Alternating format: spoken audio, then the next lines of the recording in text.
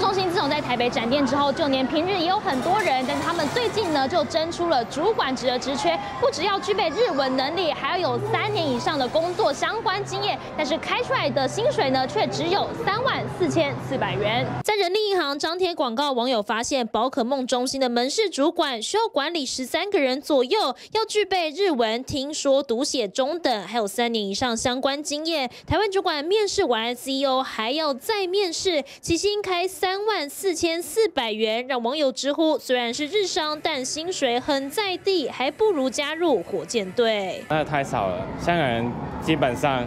现在都大概两万，可以啊。如果那个人只就讲日语，平时也没什么工作，我觉得还蛮不蛮不错的呀。大概三万八左右。你已经工作三年了，然后还是三万四的话，就有点低。就连新鲜人都觉得有点少。资深 HR 也提到，条件需要比较严格，三万出头的薪资恐怕不够诱人。主管经验比较丰富，加上这种外语能力以及这个绘图软体能力的话，可能到。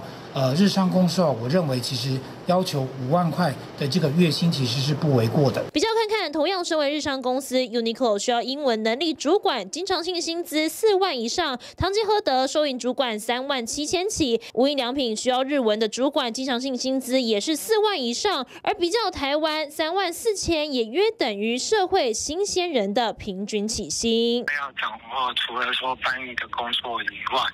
而且也要帮忙管理一些经营上的一些数字，所以赋予赋予他的一个薪资，当然比你刚才讲的那些有高出很多。虽然各个企业需要的特质不同，个人能够接受就能上工。TVB 新闻林准、林文台北仓报道。